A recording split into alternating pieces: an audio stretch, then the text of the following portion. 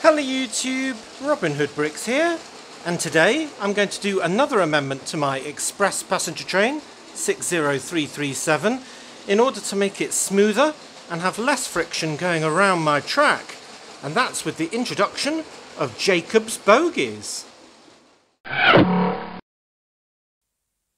Okay, so what are Jacob's bogies and why do we need them? They sound odd. Well, instead of having a separate bogie on the end of each railway carriage with buffers and a join between the two, we can have one shared bogie that spreads the weight between the two carriages and kind of smooths out the ride without the additional weight and drag of all those additional wheels. Uh, they were invented by a German railway engineer called Wilhelm Jacobs, and uh, basically, they have the benefits of improving safety because there's nothing to come uncoupled in the event of a derailment. They're lower weight because they're a lot smaller. Uh, they're simpler and cheaper to construct, create less noise because, well, there's fewer wheels on the tracks. Uh, but the bad side is that they take uh, a workshop to undo them, really, because it's kind of a semi permanent coupling of the two carriages in question. And, well, each one has a greater load on top of them. But that's no problem for an express train like this. Indeed, the real life TGVs do use this system, including the Lego TGV 10233, the Horizon Express from 2013. So, what are we going to do? We're going to be replacing this setup with two separate bogies with this setup one shared one. And that gives us the added benefit of a bit more room so we can add some extra stuff on the underneath of the train to make it look a lot more interesting. And then we end up with this. And I think you'll agree, that looks pretty good. Very streamlined. And it should help in Lego terms as well by reducing the drag and noise and friction of these wheels as well. So maybe you're sold on the benefits of using Jacob's bogies, but you're wondering, well, why can't I use the standard build from the Horizon Express set? Surely that build that I've replicated here will work on this new train as well, right? Well, no, actually. Uh, there must be some difference between those old bases and these new ones because the new carriages spoil on these studs on the corners of the wheel pieces and they're very difficult to move indeed.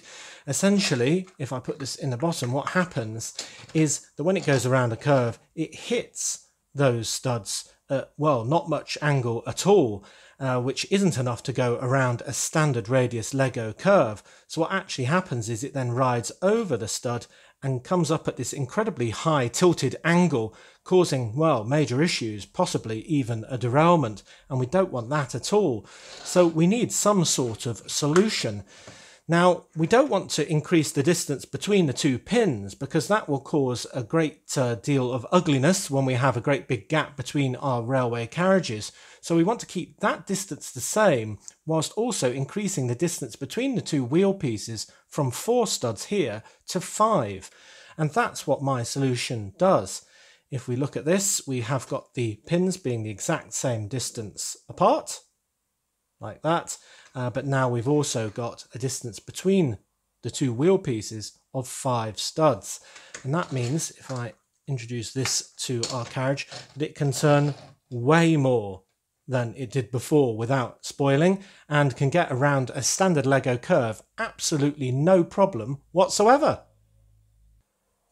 Good, good. Well, how do we build one of these things? Uh, well, before we start, I just want to say it works exactly the same whether you use the old wheel style with the metal axle or the newer style that come with this set. No problem whatsoever, it's exactly the same build. Uh, and indeed, if you want to see the parts list, it is in the description of this video. So do remember to like, comment and subscribe if you use that. Uh, so let's get started on the kind of middle section that uses a lot of brackets to hold on to the side detail. Firstly, a row of brackets kind of pointing down that will straddle these two pieces, giving them a little bit of strength. It's a bit odd this build because it's all odd numbers of studs long rather than even, which is a bit easier to do usually. Um, and it's worth mentioning that a lot of the colours described in that parts list aren't fundamental, especially for these parts right in the middle of the build because, well, you aren't going to see them, so it doesn't really matter so much. So you should be able to experiment with the ones you've got in your collection. Uh, but then for the side detail, I'm adding 2x2 plates, a 1x2 Technic brick, could just be a regular brick, but I've got loads of those banging around. Uh, a black jumper plate, 2x2, then one of these pieces, which is harder to get hold of, but is available freely on uh, Lego Bricks and Pieces if you can't find it elsewhere. Uh, a grill piece, and then just to finish off the detail, I'm using one of these kind of half circle one by one tiles as well, just to make it look really interesting. So now I can do exactly the same build on the other side, all in one go. There we go.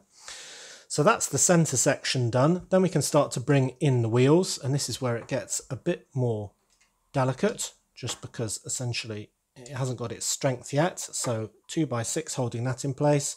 Then one of the Technic modified plates with a pin on and a 2 by 2 And then just to pin that to the bottom, I'm going to use a curved slope, the inverted style 2 by 2 to make it connect onto there as well. Then I can do the exact same thing on the other side. Make that hang on there. That makes it look a lot neater as well. Put another 1 by 2 in the middle.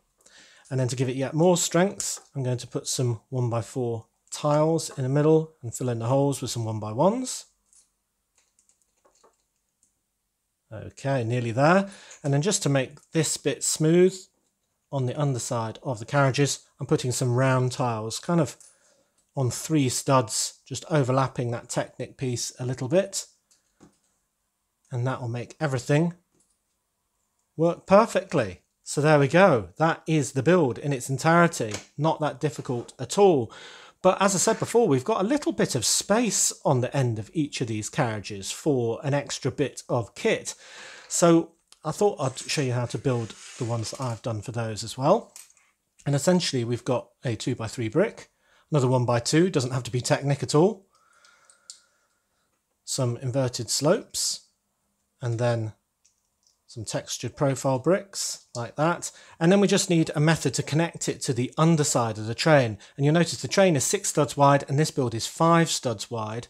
Um, because of the weird peculiarities of the underside of it, we're only able to use one strip of these uh, studs. So I'm using these one by two curved ones just because I've got loads of those to hand, but you could use square ones or a three and a two or whatever you want really.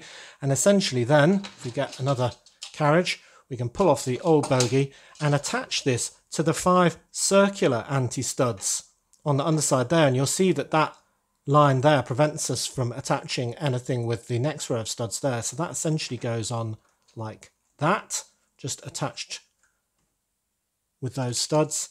And then that can go in there. And there's plenty of room for that to move around and not clash with the bit we've added. But yes, oh, looks good. And I just absolutely love the way that this sort of edging bit kind of overlaps the edge of it just a little bit and makes it look really interesting. So whether you've got the original carriages like this one or modified carriages like my double decker here, then essentially it works exactly the same. And as long as I can get that one on, yeah, looks really good. So how about that? So the other real benefit of this is before we had four sets of train wheels, two bogie plates, and two magnetic buffers. And this build has only used two wheels. So we're actually two bogie plates, two wheels, and two buffers up that we can use for other builds. And those are quite valuable pieces. Cool. Right, now I've got two sets of these going. I think I can put them on my train tracks and have them whizzing around my city.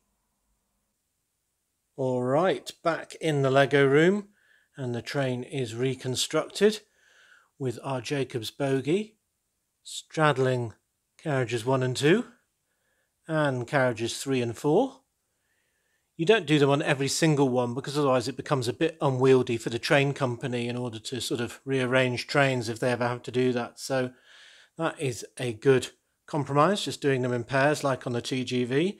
So let's set this thing going. I don't know if it will be noticeably smoother, but we can uh, have a guess. Do you know what? Don't know if it's my imagination, but that did seem a lot smoother. Batteries might be running low now, but it's uh, Wow, I think it might be getting a bit faster, so you'll have to do a scientific experiment to see if you can uh, get the decibel level from the beginning of this video without me talking and compare it to the one now. But I tell you what, it works. They're very smooth. I think we've just got to decide whether they look better, and for me, it is a very easy decision. I really like the look of them as well. And what makes them even better from my perspective is the fact that they're, well, unique to this train because all my other trains have the same sort of setup. So, yeah, I'm very happy with it. Uh, but do tell me what you think because I'd very much appreciate your view. So, as always, thank you very much for watching. It is appreciated. Do remember to like, comment, and subscribe for more awesome LEGO videos. And if you value this channel, there are many ways in which you can support it. Do check out the links in the description below. And next time on Robin Hood Bricks, we'll be doing a brick haul because it will be Wednesday. Then on Monday, we'll be doing another MOC build like the ship that I just completed over there. Uh, and then next Monday, I think I'll be doing another train build, but this time probably not for the express passenger train, but for my incredibly long cargo train like the classic space build we did last week, which is very funny when it's moving. So until all of that, see you